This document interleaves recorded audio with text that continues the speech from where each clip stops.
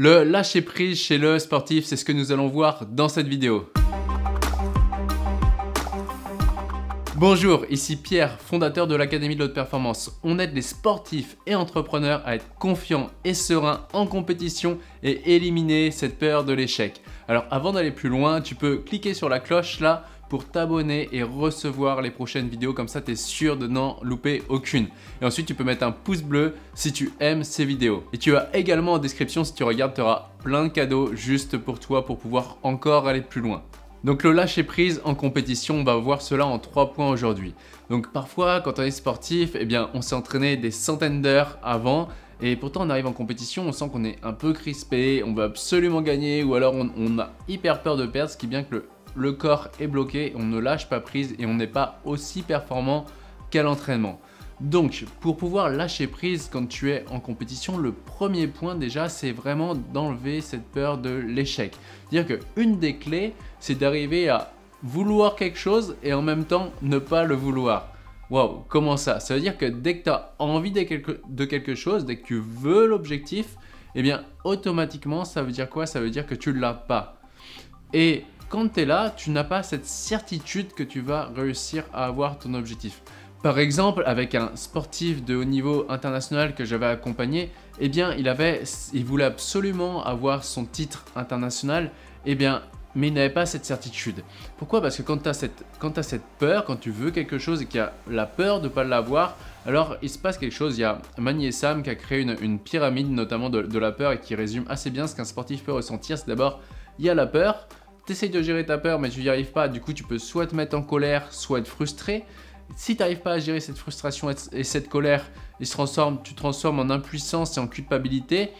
Et, et tu restes dans des schémas comme ça de non-performance. Alors que quand tu arrives à aller voir de quoi tu as peur concrètement et de voir que finalement, eh bien, il n'y a rien à perdre, quand tu transcendes cette peur, il reste quoi? Uniquement de la certitude.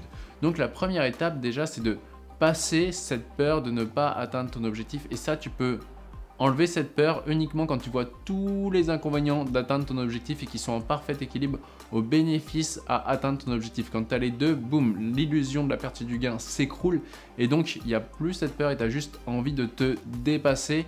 Et vu que tu n'as plus la peur de l'échec, bah, le corps n'est plus en rétraction, il est juste en expansion. Donc ça c'est la première étape. 1. Enlève cette peur de l'échec.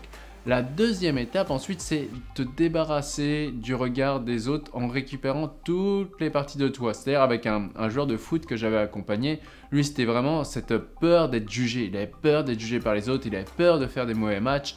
Et quand on allait voir que les choses dont tu as peur d'être jugé, c'est des choses que toi-même tu juges. Et quand on enlève ce jugement-là sur soi, alors bizarrement, en, un claquement de doigts comme ça, tu n'as plus peur d'être jugé de ce trait de caractère.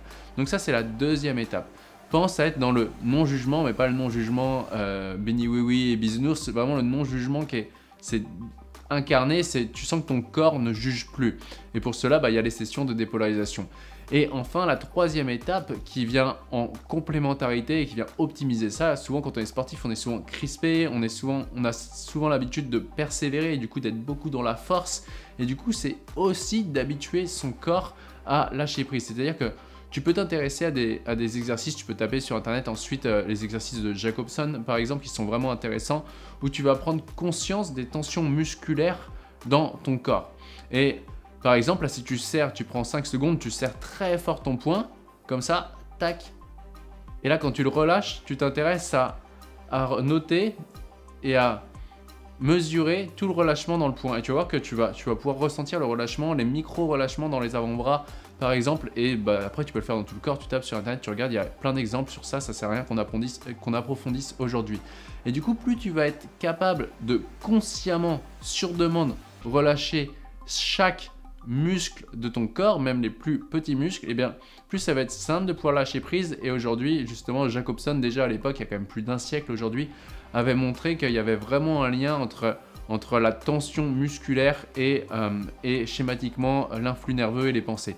Donc plus tu vas être capable de d'étendre ton corps sur demande et sur mesure, plus ça va être simple juste avant d'arriver en compétition ou alors à des phases dans la compétition par rapport à certains sports où tu as seulement quelques secondes de poum sur mesure, te relâcher, te remobiliser et d'être vraiment décontracté. Parce que ton niveau de performance va être égal au même niveau où tu es capable d'avoir ton objectif ou du moins de te diriger vers ton objectif en fluidité et c'est-à-dire sans forcer dans un relâchement le plus total. Et donc tu arrives à ce, à ce parfait équilibre entre j'ai envie d'avoir mon objectif, mais je sais déjà qu'il est réalisé, c'est qu'une question de temps, et en même temps j'en ai rien à faire de rien à faire de l'atteindre ou pas. Et là on est dans vraiment un paradoxe qui est la vie, c'est je veux quelque chose, et en même temps je sais qu'il est fait, et en même temps je, et en même temps je m'en fous de pas l'avoir. Et quand tu as ce parfait lâcher prise entre je veux ça et en même temps je m'en fous, là tu as la parfaite, le parfait équilibre pour euh, ton corps, pour ton esprit, pour pouvoir te diriger vers ce que tu veux en toute fluidité. C'est vraiment une des clés aujourd'hui de la performance, de vouloir quelque chose, mais de savoir que c'est déjà fait, c'est qu'une question de temps. Et en même temps te dire, bah, si ça, ça n'arrive pas, c'est pas grave, il y aura quelque chose euh, d'autre derrière qui se présentera. Et enfin, pour t'illustrer ce propos, euh, j'étais avec mon mentor à l'époque, il y a trois ans en arrière, et du coup, on était en train de boire un verre en face de, de la mer. Et du coup, il me dit Tiens, Pierre, regarde l'horizon. On pourrait se dire Allez, on va à l'horizon. Et on se dirigerait vers l'horizon. Mais seulement quand on arriverait à cet horizon-là, on verrait qu'il y a un autre horizon qui est disponible. Mais cet horizon-là, on ne peut pas le voir tant qu'on n'a pas fait le premier chemin. Et eh bien pour toi, c'est la même chose. Peut-être que ton objectif aujourd'hui, c'est d'aller au point A, mais peut-être que ta destinée, c'est peut-être d'aller justement au point qui est suivant, mais tant que tu n'as pas fait ce chemin, tu ne peux pas voir les autres horizons derrière.